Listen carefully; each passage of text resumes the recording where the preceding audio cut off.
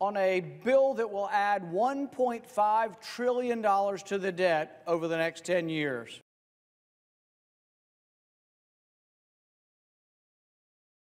The bill is nearly 700 pages. It was given to us at midnight last night, and I would venture to say no one has read the bill. No one can thoroughly digest a, 700 page bill overnight, and I do think that it does things that we really, really ought to talk about and how we should pay for them. This bill increases spending 21%. Does that sound like a large amount? Anybody at home getting a bonus or an increase in your paycheck of 21%? The exchange you just watched was me asking to have a 15 minute vote. I've been asking all day, I've been asking all week for it.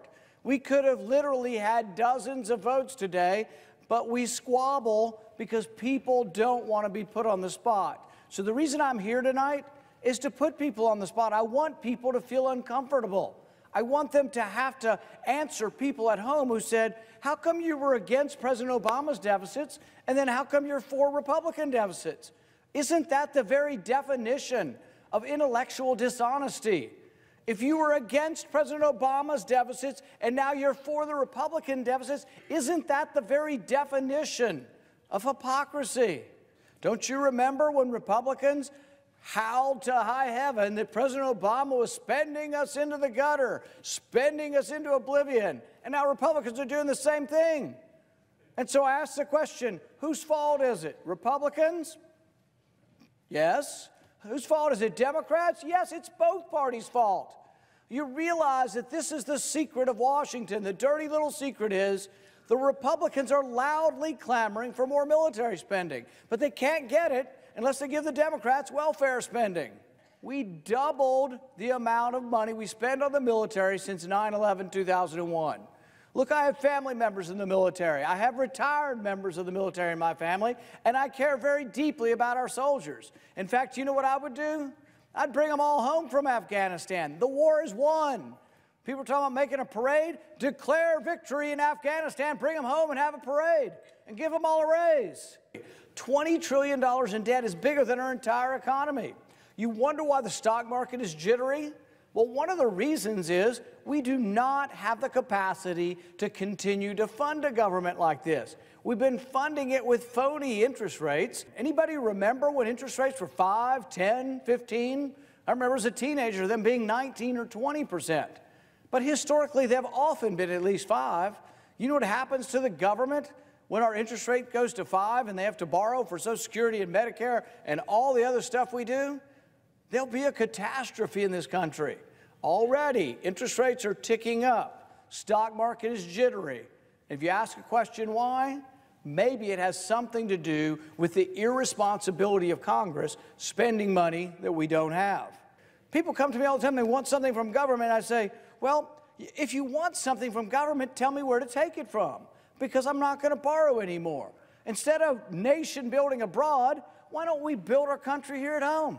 Why don't we do some nation building here at home? The day of reckoning may well be the collapse of the stock market. The day of reckoning may be the collapse of the dollar. It has happened repeatedly in history when countries ruin their currency, when countries become profligate spenders, when countries begin to believe that debt does not matter. That's what this bill is about and you're getting stuck with a bill. Not even technically you. It's the next generation being stuck with the bill. Your grandkids are being stuck with the bill. But mark my words the stock market is jittery, the bond market is jittery. There is an undercurrent of unease amidst this euphoria you've seen in the stock market. A country cannot go on forever spending money this way. And what you're seeing is recklessness trying to be passed off as bipartisanship. So we've gotten together, they're all holding hands, and there's only one bad guy standing in the way. One guy's going to keep us here till 3 in the morning. Well, you know what? I think the country's worth a debate till 3 in the morning, frankly. I think it is worth a debate on whether or not we should borrow a million dollars a minute. I've been saying that for a few years. We borrow a million dollars a minute because I think it really brings it home. And we were talking about with my staff today, and they say, you know, it's almost two million a minute now. $2 million a minute. Can you imagine? And this is exploding. This deficit is exploding. And there really there isn't the alarm you should see. Nothing's been done in the last 40 years for one precise reason there is no oversight. You realize what they are passing is all of the money glommed together in one bill. No one will read the bill, no one knows what's in it, and there is no reform in the bill. That I can say with absolute certitude. No one will read it, no reform, nothing gets better, the debt will grow. Recently, they did a Pentagon study. It's the beginning of an audit, and they audited a part of the Pentagon. This partial audit shows that $800 million was misplaced or lost. Just 800 million. I don't think they actually put it in a closet and burned it, but they can't find it.